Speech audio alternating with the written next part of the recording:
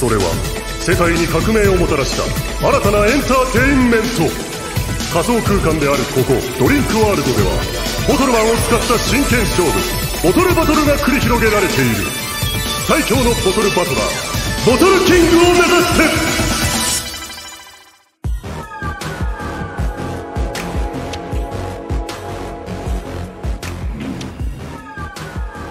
て準決勝が2試合とも決着つかずか。前代未聞じゃろいかがいたしましょう。4選手の中にはお孫様もいらっしゃいますが。両特別扱いしろというのか？そそういうわけでは。うん。わしは不正が嫌いじゃ。それに亮もそんなことは望んでおらんじゃろではこのまま再試合を。いや再試合は1週間後じゃ。わしにいい考えがある試合が盛り上がりさらにキャップがザクザクわしのもとに集まるそん。な素敵でナイスな考えじゃあはあにゃははに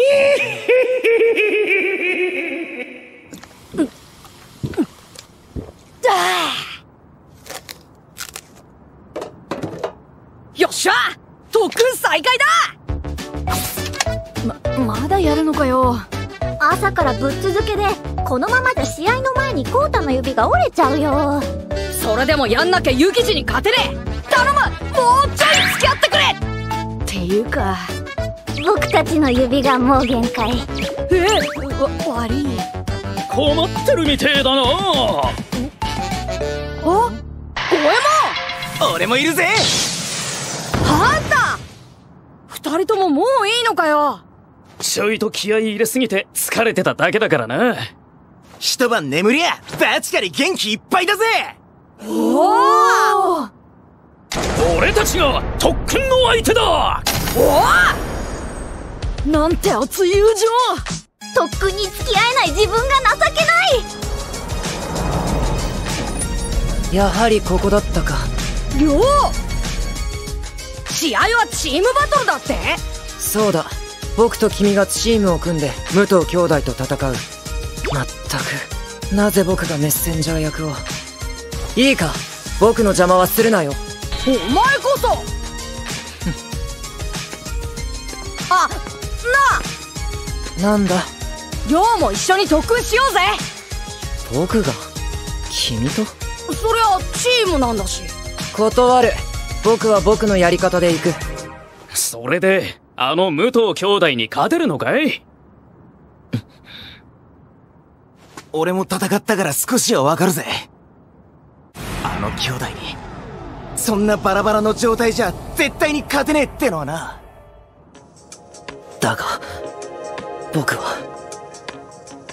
たまにはプライドなんて捨ててもいいんじゃねえか？絶対に勝とうぜ亮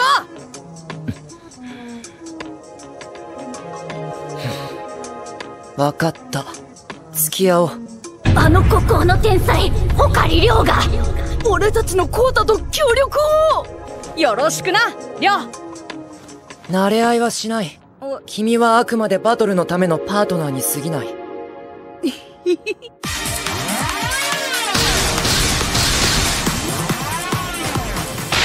邪魔をするなと言っただろうそっちが割り込ませたんだろ何を？なんだよ遅い。あと0.3秒は早く打てるはずだ。PK に早打ちは関係ないだろどんな試合でも早く打つことを心がけろ。